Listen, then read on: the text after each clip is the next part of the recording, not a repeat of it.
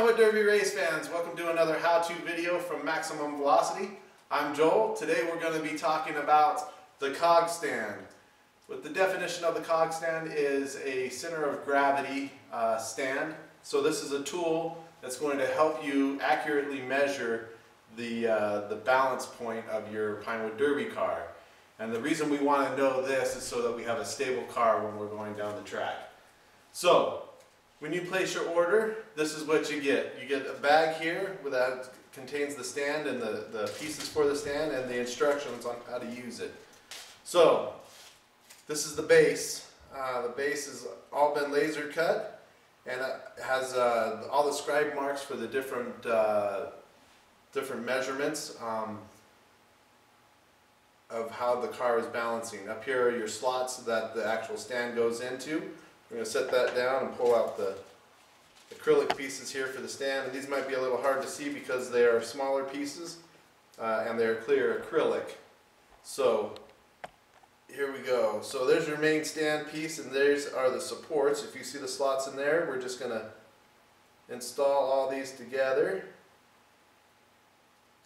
So we're going to put the clear slots or the, the supports in and then slide all of this in the stand in one little thing. So when it's assembled, you should have something that looks like this. Um, so now you're ready to do a measurement on your on your car.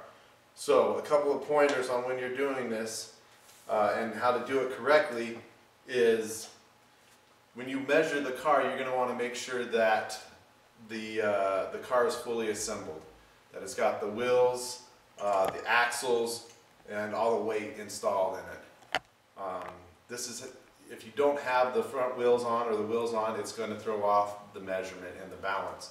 So when you do this, make sure the car is completely assembled.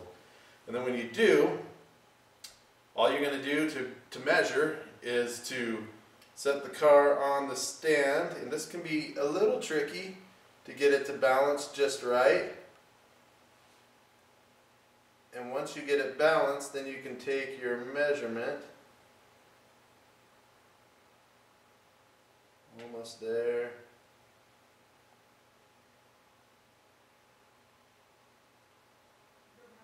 It's just teetering back and forth here.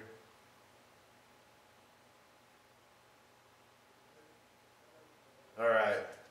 So right there we have that car balanced on this stand.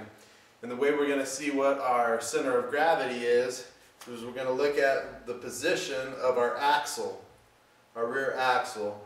And that's going to give us uh, our balance point. So if we come straight down off of this uh, rear axle and go down to our, our scribe marks on the stand, it says three quarters of an inch.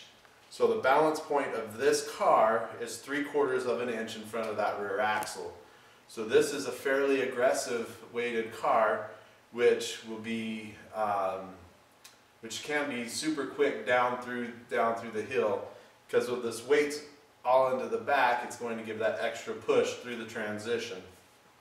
So typically for a, a scout car, you're not going to want to go much less than three quarters of an inch in front of the rear axle.